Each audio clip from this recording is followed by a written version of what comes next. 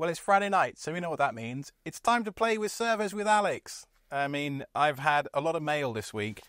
I've got some replacement cables for the Kareon Kables, one that had the 3.3 volt issue. That's going to go into the EPYC build and hopefully finally be the last power cable that I ever have in there. I have a replacement LSI 16 card here, so this is an HBA. This is going to go into Morpheus, the media server. In here.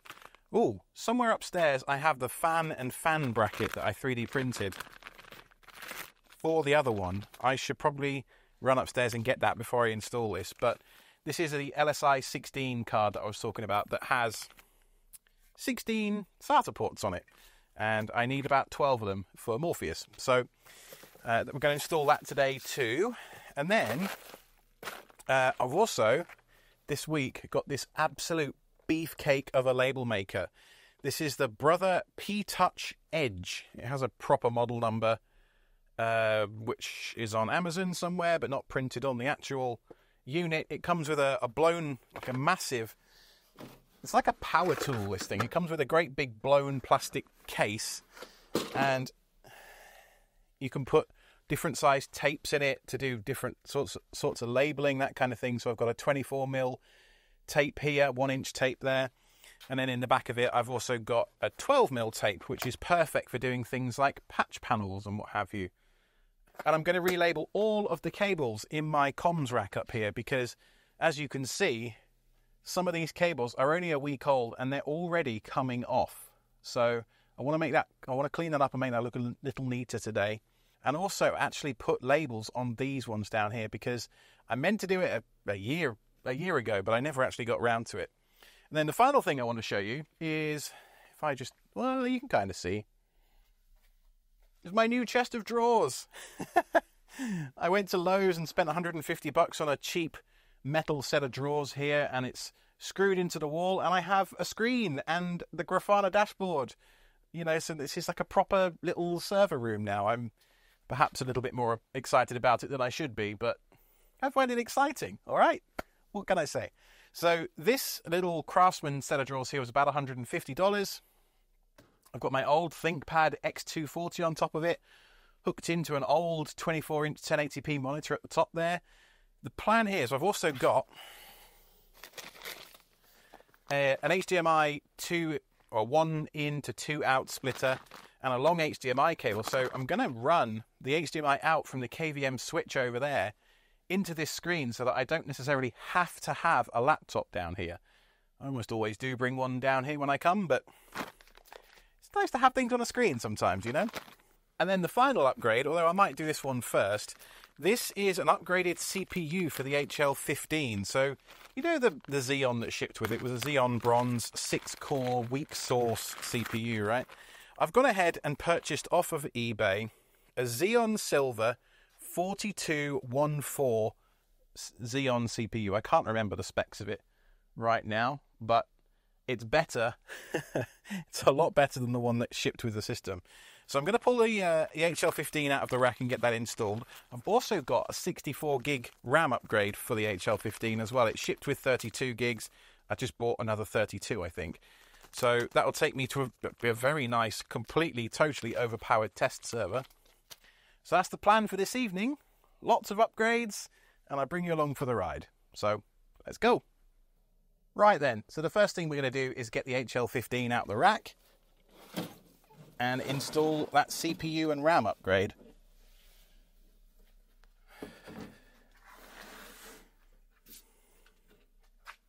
Now, this HL15 was shipped to me pre assembled, and I went to take off the heatsink just now and realised I need a T30, which is quite a beefy Torx bit, and the only one I have is one for working on cars.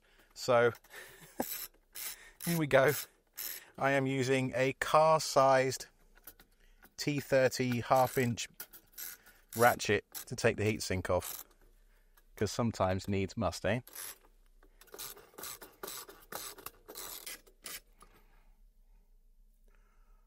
Whoa! Didn't expect that. Okay, this is my first time doing a, a Xeon CPU like this. I've only ever had CPUs that are socketed, you know, with the latches and stuff. Hmm, hope I didn't break anything. it's a bit late now if I did. Uh, okay, so this this heatsink, uh, oh, it just kind of is like a tray that just sort of like clips off. Man, I am showing my naivety with this platform right here. I expected it to be just like the desktop chips.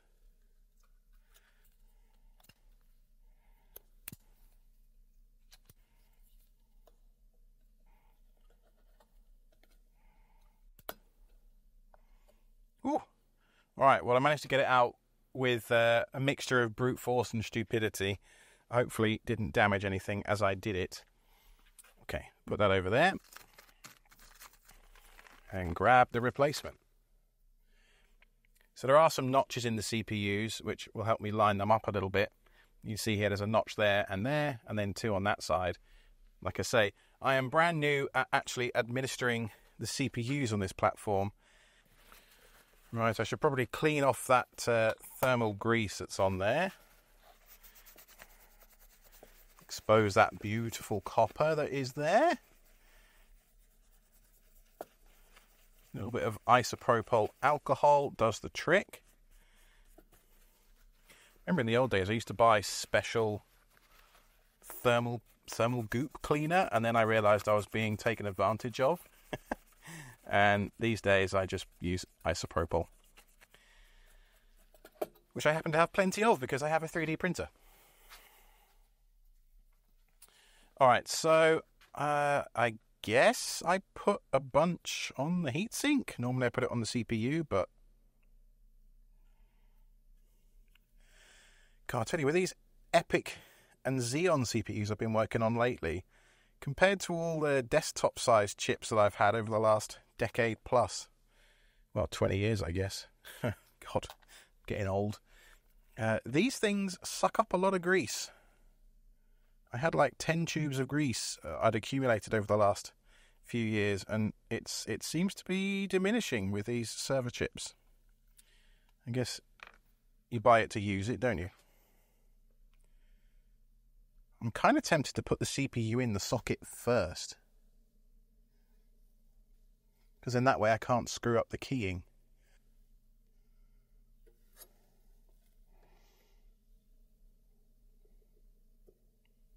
Also, going to be much more difficult to bend a pin. Yeah. I mean, that's the way I've always done it with desktop chips. So I think that's the way I'm going to do it with this one too. I think it was this way around before. I don't know if that matters, but I'm going to just line it up with the pins on the corner. Put the heatsink back in place. Then get my super mega jumbotron wrench over here.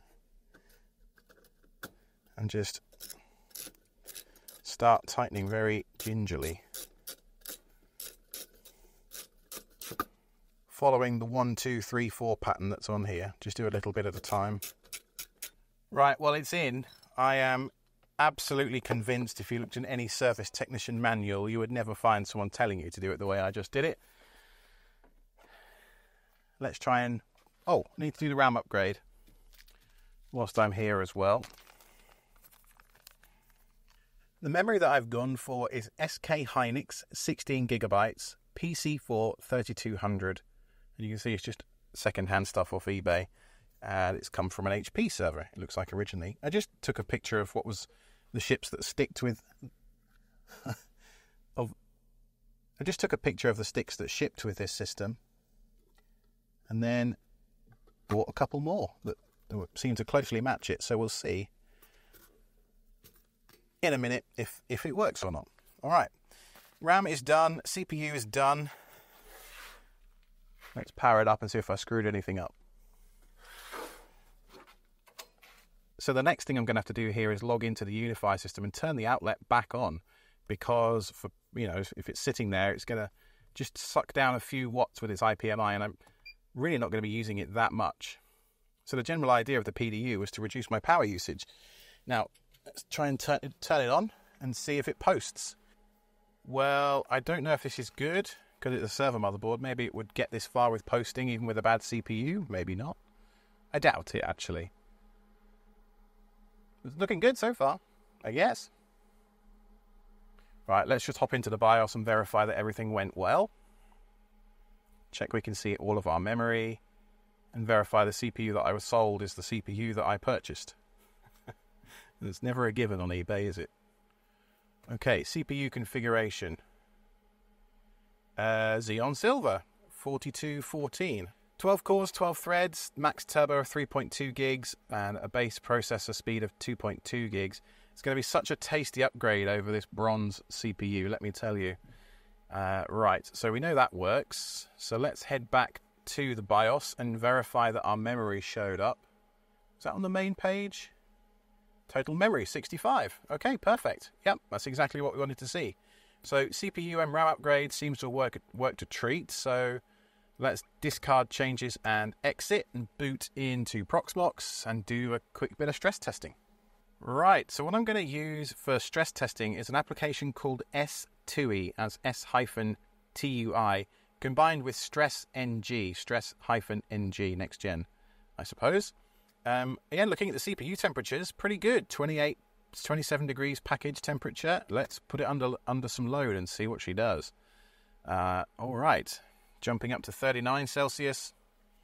Anything under 50, maybe even 60 is, is totally fine. With the airflow this case has and the temperature down here, I would imagine ambient temperature must be sort of 15, 16 degrees in this basement.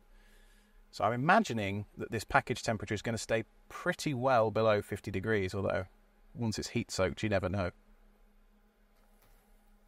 Now, Stress NG is showing us a few things here.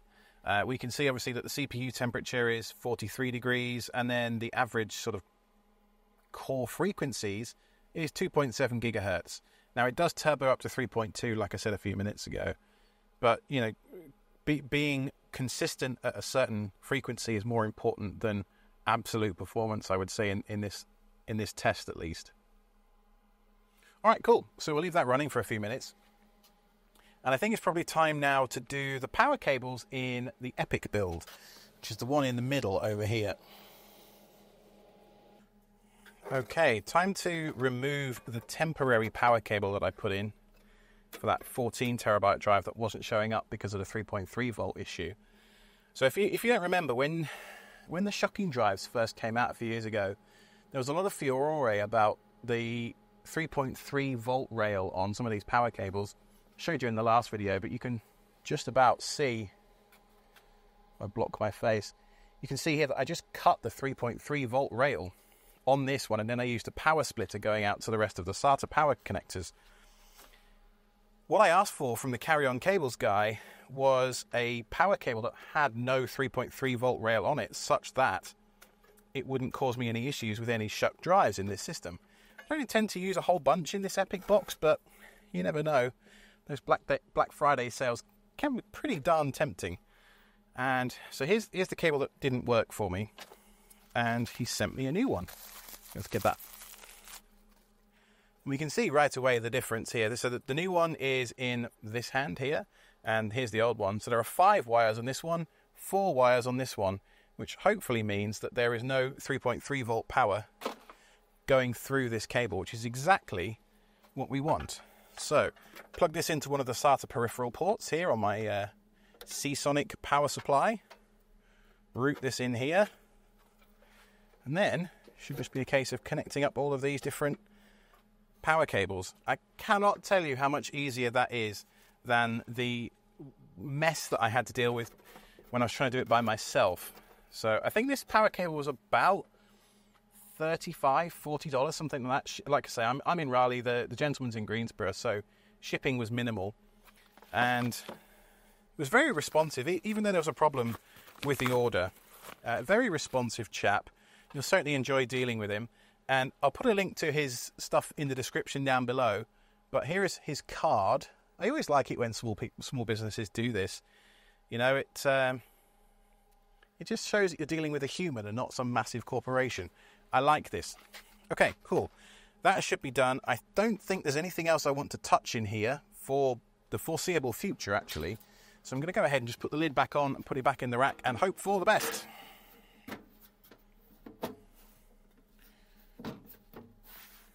All right, so I put the EPYC server back in the rack for now. I'm just going to boot it up using PiKVM to check what's going on.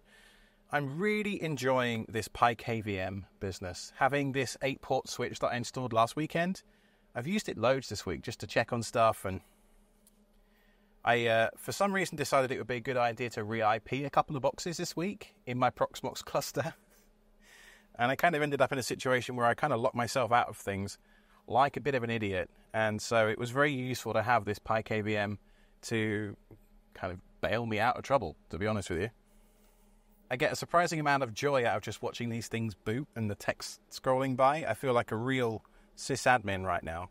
So let's do deep thought.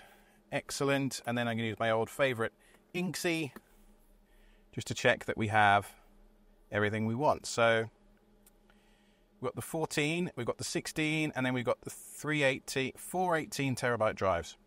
Perfect. No, 420 terabyte drives. What am I talking about? 420s, 116, and 114. The new power cable works. So that's great. That is that bit done. Right, so let's check in with the HL15 that's been burning in for the last 15 minutes or so. I think it looks pretty good, to be honest with you. The package temperature is sitting at a nice 56 degrees Celsius. The frequency is sat really stable at 2.7, 2.695. It just dropped to a little bit. But yeah, I'm going to call this good. I don't need to I don't need to burn a bunch more electricity testing this. Just verify everything shows up as we expect in the uh, operating system. 64 gigs of RAM, and 24 threads. Yeah, perfect. All right, time to time to power this guy off. Next thing we want to do is power off Morpheus. So I'm just going to go ahead and SSH in and power it off. Yes, the keen-eyed amongst you will notice I switched it to NixOS this week. I don't know if I have NeoFetch installed. I'm almost sure I don't, but I'll just show you before I do power it off. That, by the way, is the power of Nix right there. I didn't have the NeoFetch package installed. So I jumped into a NixOS shell and installed the package NeoFetch. It downloaded all the stuff it needed to run NeoFetch. Okay, NeoFetch is a small application. And boom, I have this package now available for me to use. And we can see we've got the i5 8500, we've got 64 gigs of RAM. It's been up for three and a half days, running kernel 6.1.82 and oh yes, the magical NixOS 23.11. Now I do have some plans for Morpheus this week. I just I, I gave in. I, I, I have decided to upgrade Morpheus, and it's probably time for some real talk. My EPYC box is doing everything I need it to from a home lab perspective. In fact, for work today, I just spun up you know three or four different virtual machines, and it was just a joy to work on. I edited all of the video for Tailscale on that, that machine today using a pair of 4 terabyte NVMe drives in a mirror, in a ZFS mirror, over the network. And I was getting 10 gig speeds, like completely maxed out, scrubbing around in the timeline, felt not quite, but almost local. And so I'm really happy that that EPYC box is kind of my production box for work. It is with the home lab box, I play around with VMs and testing stuff, whereas Morpheus is production, right? Pseudo prod, as I mentioned, you don't interrupt a three-year-old Peppa Pig. So, what led me to buy the EPYC box in the first place was I wanted to have a playground where I could do whatever I wanted and also happen to run all of my media stack. Well, as it turns out, Alex, if you want to play around and do whatever you want, that means you want to be able to reboot too. And so I needed to switch from one main server to two servers, or, well, go back to two servers. And all of the issues that I talked about in the EPYC video, things like PCIe lanes being a bit short, just mostly being a little bit short on PCIe lanes on the Intel platform. I've actually decided to go from Intel 8th gen, so the 8500, the i5 8500 CPU that's in there right now, all the way up to an i5 13600K and a Supermicro motherboard. Don't worry, I'll make a full video on the upgrade. All of those parts are currently in a UPS truck somewhere between here and Indianapolis, I think. So I'll be doing that in the next week or two. So I, I, will actually be doing a proper media server upgrade that stays within the realm of the achievable human being and uh, bring you along for the ride, of course. But back to today, I want to install the LSI 16 port card and do some stability testing on it overnight. And uh, I guess that's what we'll do now. I've actually been really enjoying NixOS um, this week. It's it's a real journey for me that I'm on with with Nix at the moment. I, I love the fact that it makes it more difficult for me to tinker and simultaneously easier to, to have a more stable platform. The, the main thing I don't like is that it doesn't appear in my Proxmox cluster of, of nodes. And sometimes it's just nice to see that little green tick, you know? Maybe I'm being silly, but I just like it. I had a question in the comments of the last video what do I do about dust down here? Honestly, it's, it's pollen season right now in North Carolina. And if you've never been here or lived in the uh, East Coast or the Southeast area, you won't believe what the pollen is like here. It is a thick dust that happens overnight, seemingly. I mean, we had biblical rain here in Raleigh the last couple of days. And I woke up this morning and the cars are completely covered in pollen dust again. It's almost unbelievable, really. So, I'm going to pull out the HBA card uh, as I'm talking. Um, and the, if, if the dust was going to go back to the dust question, if it was going to be a problem, it'd be a problem this week, right? Uh, where there's lots and lots and lots of fine particles in the air. And you can see really that, I mean, I had these servers out last weekend, and there's a very, very thin, I don't know if that comes across on camera super well, there's a very, very thin layer of dust there. So the short answer is I'm not worried about dust. Uh, I've been running my servers down here in the open like this for the last five years. Humidity might be an issue, but again, I, I haven't actually had any issues with it. I have a temperature probe just on the side of my. Can you see that? No, not quite. Just there. I have a little ESPHome based temperature sensor that hooks into Home Assistant, and I monitor the humidity, and it it fluctuates, of course. Like some sometimes it's up to 70, 80, 90% down here after it's rained really heavily. But for most of the time, it's in that sort of 40, 50% range, which is actually pretty good for servers. And I actually think that the servers themselves contribute a little bit to the humidity being good down here, keeping the airflow moving. And obviously, they've got, you know, venting and stuff like that. And then also, as I'm sure you can see, the furnace is right there. So when that's running, obviously, that's warming up the air down here and probably removing a little bit of the humidity. It's not exactly what you'd call a textbook deployment, is it, down here? But then again, it is a home lab. I'm not a data center. I've thought about I've thought about building a false wall around this space, um, and I've got a little you know dehumidifier over there. I've, I've thought about it, but until I see an issue or have an issue related to those things directly, I'm just going to leave it as it is and hope for the best hope's a valid strategy, right? Now, the LSI card, I just remembered I didn't pick up the fan when I went upstairs a few minutes ago, so I'm just going to be you know, disappear upstairs for a minute, go and grab the fan, and I'll be right back. So this is the fan I was talking about. It's a, a Noctua Chromax NFA914 PWM uh, in black, and I 3D printed this little bracket, which just hooks on via friction onto the heatsink of the HBA card. I printed this out of PETG because it's a little more heat resistant than PLA, although honestly, I'm hopeful that it's not going to get anywhere near temperatures that would cause an issue for PLA, but why risk it? All right, so put this into the server now. So now I've got the fan cable hooked up here to the motherboard all that's left to do is hook up all of these SATA cables. And so on the end here, it's a, it's a connector I hadn't seen before. It's a it's like a pair of of like I don't know. It's like a game cartridge in the old days or something. It's an SFF something. I, I don't know what the model number is precisely without looking it up. And so I have 12 ports up the front here to fill up. So I have three cables, and each cable breaks out into four SATA connectors. So, right, let's get the, go ahead and get this wired up.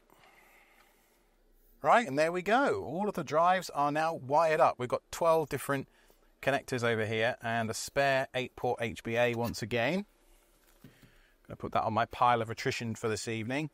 And I suppose it's time to power it up and check that the HBA works, huh? So probably the easiest way for me to show you what's going on right now is to jump into PiKVM and just check out what Morpheus is up to. Okay, he's doing his post thing right now. So once that's done, uh, we will check that the HBA card works as expected.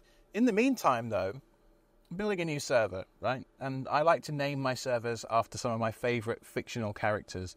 We've got Morpheus, Deep Thought. My backup server is called Anton. It's a Silicon Valley reference. Uh, Zoidberg, the name of my network appliance, right? Trying to come up with a good. I mean, I think if I'm replacing the CPU and motherboard, I think that counts as a new, a new brain, a new computer, right? So it probably needs a new. Morpheus is probably due for, due to go into retirement. So, I have to think of a new name. Ugh. Well, this is a good start. It's just imported all the ZFS pools. So I guess that means that the drives are showing up in the operating system at least. So let's do Morpheus this way.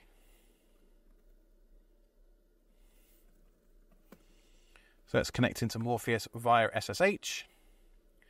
Do my favorite inxi boy. Oh, good. That looks like a lot of hard drives. Excellent. Uh, Cool, zpool status. I'm not going to bother counting them. My three. Okay, so these SSDs don't. None of these SSDs count, but the ZFS up here, Big Rust 18, that counts. That's connected via the HBA. And then I guess let's have a look at my fstab.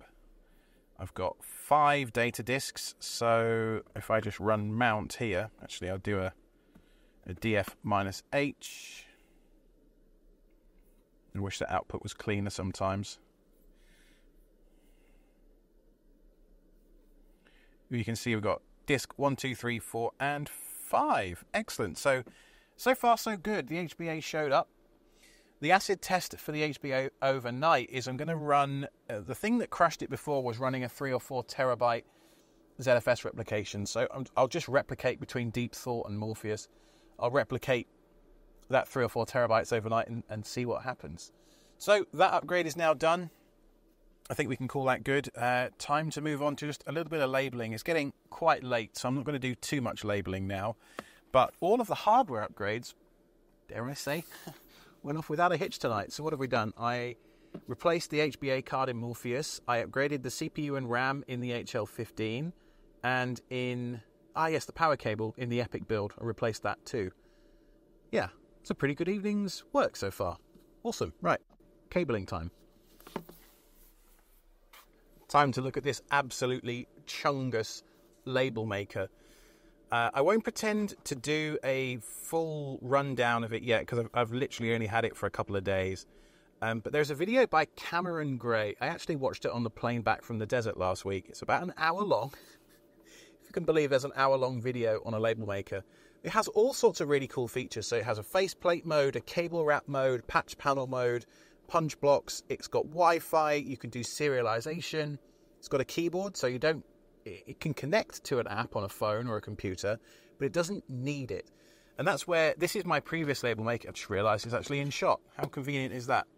Um, this brother label maker here is Bluetooth, and it connects to an iOS app, and it, it kind of does the thing a little bit, but I found myself, you know, it's always the way when you're doing this kind of thing. Like you're just long enough between making labels where this powers off to save energy, or you need to use your phone for filming, right? And you think, oh, well, I don't want to. I just wish there was a keyboard on this thing. So that's really what this does, and it's built like an absolute tank. I mean, this is super solid plastic. It's got a rechargeable lithium-ion battery in the bottom there. It can also take a really nice feature actually. It can also take uh, what are they? Double A batteries, four double A batteries down here.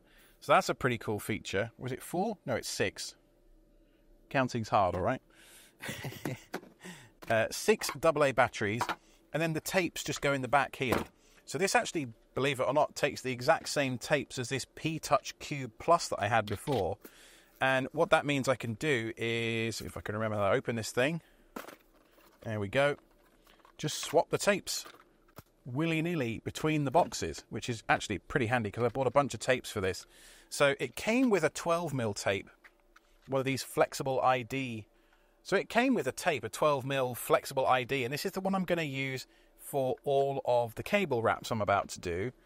Uh, actually, I'm going to use the 24mm flexible ID tape, sorry. Um, but this 12mm one is really good for patch panels because it's just the right thickness. And then if you want a more traditional kind of laminated label, this is the beauty of the Brother ecosystem, right? It's all there's, a million different types of everything. So really, we we can fit whatever we want, you know, our use case to be. There's going to be a label for it. All right, so let's make a couple of labels before we clock off for the evening. What's the first one going to be? It's going to be uh, right. So I'm, i want to label Zoidberg first of all. Go in here and do that. Oh, just want a single line. Press print. And so it sort of half schools the label. It's one of the things I really like about this versus the, the P Touch Cube thing. You can see it's printed out a really nice cable wrap that's in there. And I, normally you'd have to cut this to length yourself, but we actually do that. Look, it peels off beautifully. Okay, there's a little bit of waste, but honestly, these these labels are really pretty cheap. They're a few dollars for a roll, and I think the rolls last quite a decent length of time at my my sort of usage. So I'm just going to wrap Zoidberg neatly around, like so. I could have probably done a better job of that, but such is life sometimes. Uh, and there you go. So, what's the next one? I think it's Home Assistant. So, let's do Home Assistant next. I didn't actually label that one last time. Let's do Home. Because one of the things you have to be aware of is the width of the the width of the labels isn't actually that great. So, I'm just going to do Home Assist on two lines and just see what that does. Again, it's going to print out at the top here, do the half score cut. And there we go. There you go. I mean, that, that does the trick, right? I, all I need to know is what device that power cable is connected to. I don't need it to be super duper beautiful.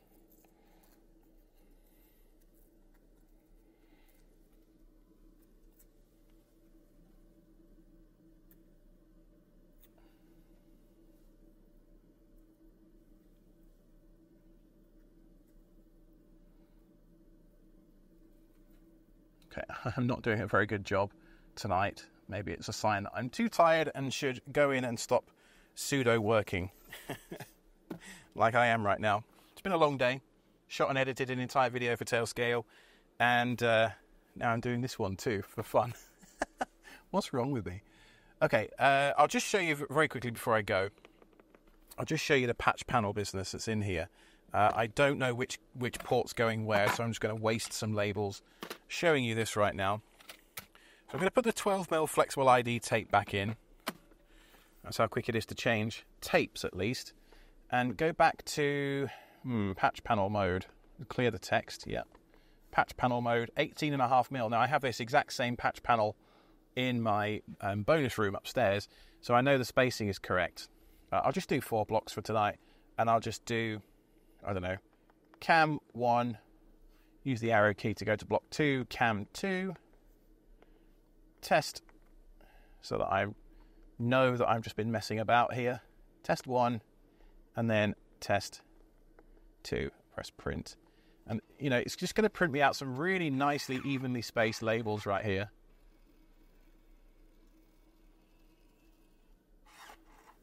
There we go.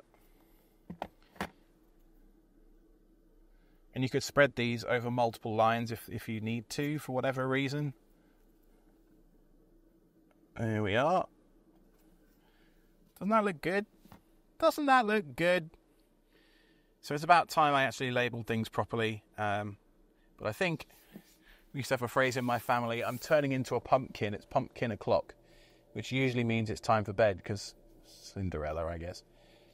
Now, I am going to be doing a full video on the Morpheus upgrade. If you have any ideas for a name, I mean, I'm probably going to reject most of them because it's a very personal thing, but if you've got a good idea, let me know. And uh, if you want to see anything else about this rack, if you've got any further questions, I'll be doing a Q&A video fairly soon, and um, you know stuff like the dust question and things like that.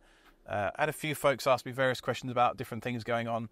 One of the things I actually noticed is that my OPNsense box here, now that I've got the PDU showing me all of the different power for every single device, my OPNsense box I thought drew like 10 or 15 watts. It draws nearly 25 watts. So it's an i3 3225, I think, very, very old system that's been with me for a very, very long time. So from a landfill, you know, e-waste perspective, it's good to keep it going, but the energy usage is just a bit higher than I would like. So I might look into replacing that soon. I also have my Blue Iris box upstairs, which I probably want to relocate into this rack, which might mean another Dell Optiplex gets put in here. So maybe I could get an Optiplex size box to replace OPNsense. Who knows? Who knows? This is the fun of home labbing, right? It's it, we're just we're never done. We're just between upgrades. That's always the joke in my mind, at least. I hope you find it funny too. So, until the next video, at least, which there's been a couple of these vloggy style ones in a row now, haven't there? Maybe there'll be one more. I don't know. Well, until the next video, thank you so much for watching. I've been Alex from KTZ Systems.